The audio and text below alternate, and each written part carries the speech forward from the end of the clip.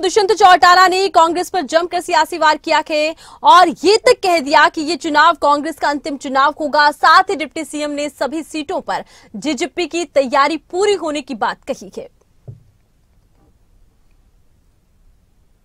और स्टेज पर दो भाई खड़े हैं मेरी उनसे भी निवेदन अगर कोई कर सकता तो शायद इनेलो कर सकती। आज के दिन हमने भी दस में अपनी तैयारी कर रखी है भारतीय जनता पार्टी। तो जब एनडीए बैठ के निर्णय लेगी और क्या सीट शेयरिंग होगी, उसके बाद का निर्णय।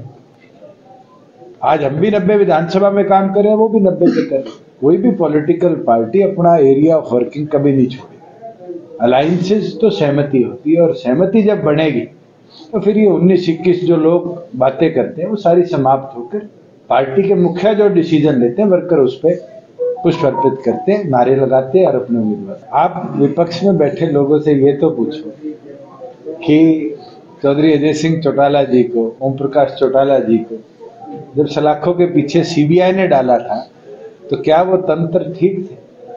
चौधरी अजय सिंह चौटाला जी तो स्टेट गवर्नमेंट के सदस्य भी नहीं थे, सांसद थे पार्लियामेंट। दस साल सजा कटवा दी।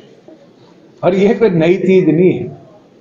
ये तो इतिहास है इस देश का। इंदिरा गांधी प्रधानमंत्री थी, सारे देश के राजनेताओं को जेल में डाल दिया और इन वाले केसेस में तो पैसा भी है, गड़बड़ भी है प्रूफ भी है। उसके बावजूद भी अपने आप को निर्दोष बोलते हैं।